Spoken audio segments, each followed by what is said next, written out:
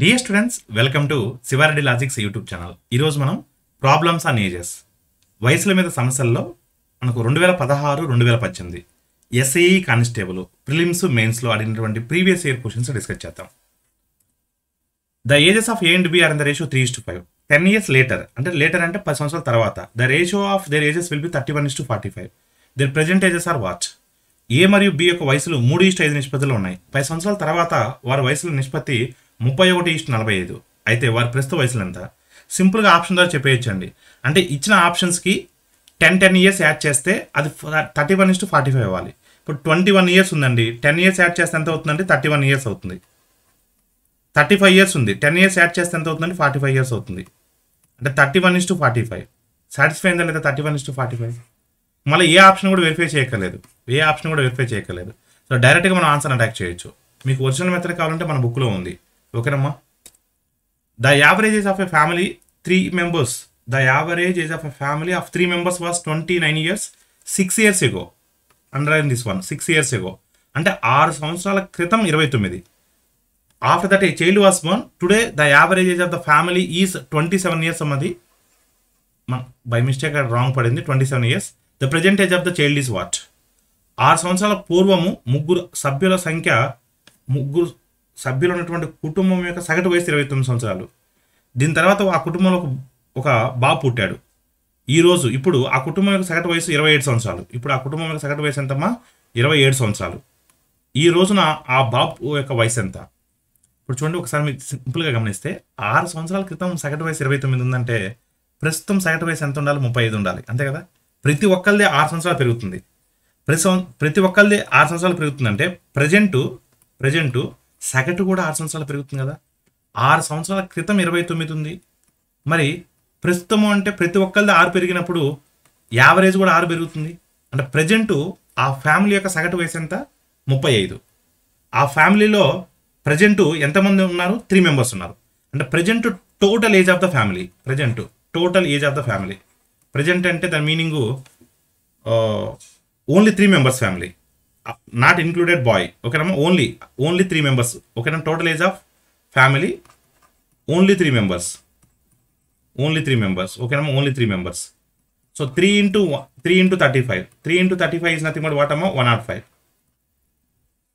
ప్రజెంటే total age of the family including boy including boy ఓకేనమ్మా including boy అంటే four members including boy ఎంత అంటమ్మా? Four into twenty seven.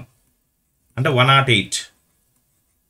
ఈ one not ఎయిట్లో ఒకసారి మీరు గమనిస్తే ఈ వన్ నాట్ ఎయిట్లో వన్ నాట్ ఫైవ్ అనేది ఆ త్రీ మెంబర్స్ది అప్పుడు బాబు వయసు ఎంత ఉంటుందంటే త్రీ ఇయర్స్ ఉంటుంది. అప్పుడు బాబు వయసు ఎంత ఉంటుందమ్మా? త్రీ ఇయర్స్ ఉంటుంది. అంతే కదా? ఆ వన్ నాట్ ఎయిట్లో వన్ నాట్ ఫైవ్ త్రీ మెంబర్స్దే అంటే త్రీ ఇయర్స్ ఎక్స్ట్రా ఎవరిది? ఆ పుట్టినటువంటి కొత్త బాబుది. So your answer is what option B option D ratio present ages of P and Q are seven is to three after four years their ages will be two is to one then the present age of P is what so P మరియు Q ప్రస్తుత వయసు నిష్పత్తి ఏడు ఇష్టు మూడు. నాలుగు సంవత్సరాల తర్వాత వారి వయసు నిష్పత్తి రెండు ఇష్టు ఒకటి అవుతుంది. అప్పుడు పి యొక్క ప్రస్తుత వయసు ఎంత? ప్రస్తుత వయసు అంటే ఏడు భాగాలు కదా? అంటే మన ఆన్సర్ ఏడుకు మల్టిపుల్ ఉండాలి. ఏడుకు మల్టిపుల్ ఉండాలి.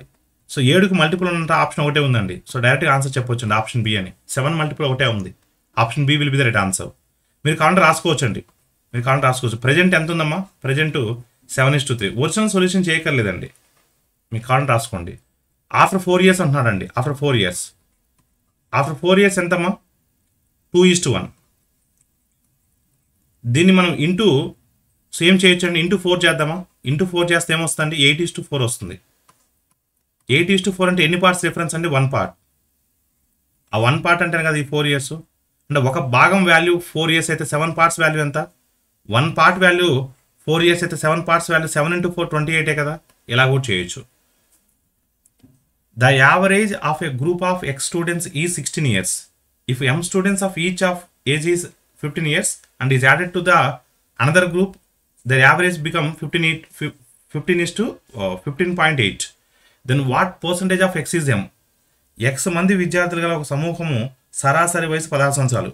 ఈ సమూహంలోకి ప్రతి ఒక్కరికి ప్రతి ఒక్కరు పదిహేను సంవత్సరాల వయసు ఉన్నటువంటి ఎం విద్యార్థులను చేర్చగా కొత్తగా ఏర్పడినటువంటి సరాసరి పదిహేను పాయింట్ ఎనిమిది. అప్పుడు ఎక్స్లో ఎం ఎంత శాతం? చూడమ్మా. ఇనిషియల్గా ఎక్స్ స్టూడెంట్స్ ఉన్నారండి. ఎక్స్ సమూహం ఉన్నటువంటి స్టూడెంట్స్ ఉన్నారు. వాళ్ళ యొక్క సగటు వయసు పదహారు సంవత్సరాలు. నెక్స్ట్ ఎం విద్యార్థులు మనం జాయిన్ చేస్తున్నాం. ఆ కొత్తగా జాయిన్ చేయించేటువంటి విద్యార్థుల యొక్క సగటు వయసు పదిహేను సంవత్సరాలు. అలా వాళ్ళు జాయిన్ చేసిన తర్వాత ఆ మొత్తం గ్రూప్ యొక్క సగటు వయసు ఎంత? పదిహేను పాయింట్ ఎనిమిది. మొత్తం గ్రూప్ యొక్క సగటు వయసు ఎంత? పదిహేను పాయింట్ ఎనిమిది. ఇప్పుడు మనం మిక్చర్స్ అప్లై చేయొచ్చు. డిఫరెన్స్ ఎంత అండి? Point eight. డిఫరెన్స్ ఎంతమ్మా పాయింట్ టూ. ఓకేనమ్మా? అంటే నిష్పత్తి ఎంత ఉందండి? Four is to one. అంటే ఒకసారి మీరు చూస్తే ఎక్స్లో అన్నాడు. అంటే మొత్తం ఎక్స్ అనేది ఫోర్. ఎక్స్లో ఎం. ఎం అనేది one. So one by four. One by four అంటే హౌ మచ్ పర్సెంట్ అమ్మా? Twenty five percentage one by four value will will be twenty five percentage your answer is what option C The ages of A and B are in the ratio 2 is to 5. 8 years later, the ratio will be 22 is to 43. Their present ages are what? A మరియు ఒక ఏ మరియు B యొక్క ప్రస్తుత వయసుల నిష్పత్తి రెండు east ఐదు నిష్పత్తిలో ఉన్నాయి. ఎనిమిది సంవత్సరాల తర్వాత వారి వయసుల నిష్పత్తి రెండు ఇరవై రెండు ఈస్టు నలభై మూడు అవుతుంది. వారి ప్రస్తుత వయసులు ఎంత? అంటే ప్రజెంట్ టూ ఈస్టు ఫైవ్ ఉండాలండి. చూద్దాం ఆప్షన్ చూద్దాం. Seven two jar seven five jar eight two jar eight five jar nine two jar nine five jar two ten two jar ten five jar అన్నీ కూడా టూ ఈస్టు ఫైవ్లోనే ఉన్నాయి. అంటే మనం అలా చేయలేము ఇంకొక విధంగా కూడా చేయొచ్చు. ఎనిమిది సంవత్సరాల తర్వాత అంటే ఎనిమిది యాడ్ చేస్తే ఇరవై రెండు ఇష్ట నలభై మూడు అవ్వాలి. ఇప్పుడు ఎనిమిది యాడ్ చేయడమా దీనికి? ట్వంటీ టూ అవుతుంది. దీనికి ఎనిమిది యాడ్ చేయడమా ఫార్టీ త్రీ అవుతుంది. ఎస్ ఇది twenty two is to forty three ఉంది. మిగతా చెక్ చేయక్కర్లేదండి. ఇక్కడ డైరెక్ట్ చెప్పవచ్చు ఎనిమిది యాడ్ చేస్తే ట్వంటీ ఫోర్ ఎనిమిది యాడ్ చేస్తే ఫార్టీ ఎయిట్. సాటిస్ఫై అవుతుంది అవ్వదు. ఫస్ట్ సాటిస్ఫై అయింది కాబట్టి మిగతా వెరిఫై చేయక్కర్లేదు. ఇరవై ఆరు ఎనిమిది యాడ్ చేస్తే యాభై మూడు. అవసరం లేదు. నెక్స్ట్ ఎనిమిది యాడ్ చేస్తే ఇరవై ఎనిమిది ఎనిమిది యాడ్ చేస్తే ఫిఫ్టీ ఎయిట్. అవుతుందా అవ్వదు అంటే అలా అయ్యే ఆప్షన్ ఒకటే ఉందండి. డైరెక్ట్గా ఆప్షన్ ఏ అని పెట్టచ్చు. మిగతా చెక్ చేయక్కర్లేదు. ఫస్ట్ ఆప్షన్ చూసి చెప్పేయచ్చు. లేదు మీకు సమ్ము కావాలంటే చెప్తానండి. ప్రజెంట్. ప్రజెంట్ ఎంతమ్మా? Two is to five. ఎనిమిది సంవత్సరాల తర్వాత. ఎనిమిది సంవత్సరాల తర్వాత. ఎంతండి? So twenty two is to forty three.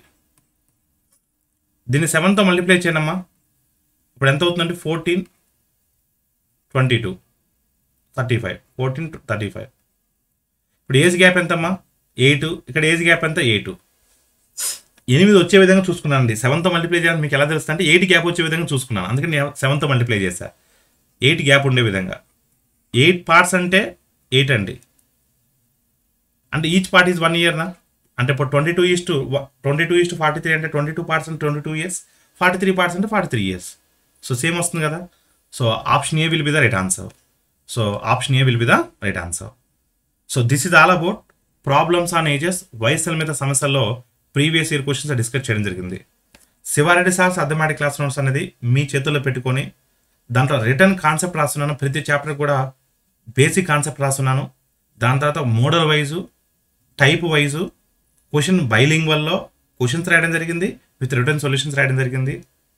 ఆ బుక్ మీ చేతుల్లో పెట్టుకొని శివారెడ్డి లాజిక్స్ యూట్యూబ్ ఛానల్లో మీరు ఈ క్లాసెస్ అనేవి పర్ఫెక్ట్గా కింద ఫాలో అయినట్లయితే మీకు సబ్జెక్ట్ మీద ఈజీగా కమెంట్ వస్తుంది. ప్రతి స్టూడెంట్ కూడా ఈ అవకాశాన్ని సద్వినియోగం చేసుకోండి. సో మీకు ఈ బుక్ మార్కెట్లో ఎక్కడైనా అవైలబుల్లో దొరకకపోతే మీరు ఈ కా- ఈ నెంబర్ని కూడా కాంటాక్ట్ చేయొచ్చు. వాళ్ళ దగ్గర మీకు కొరియర్ చేసే ఫెసిలిటీ కూడా వాళ్ళ దగ్గర ఉంటుంది. సో ప్రతి స్టూడెంట్ కూడా ఈ అవకాశాన్ని సద్వినియోగం చేసుకోండి. Thank you all of you.